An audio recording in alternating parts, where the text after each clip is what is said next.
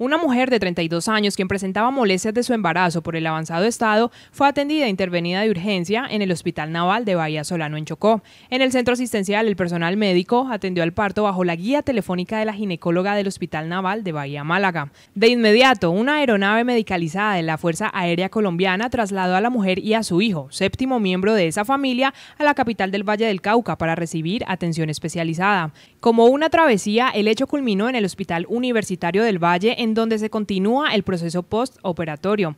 Tanto el bebé como la madre se recuperan satisfactoriamente.